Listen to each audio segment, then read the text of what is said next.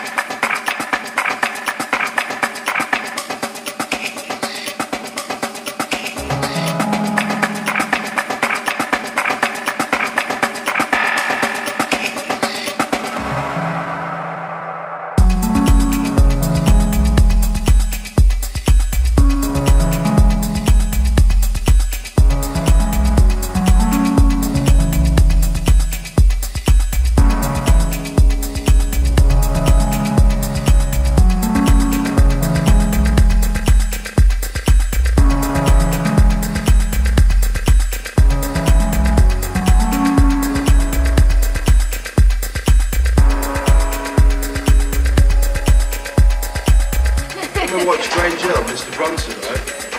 Mr. Bronson just appeared on this bonsai and he had to drink three pints of Quaalude.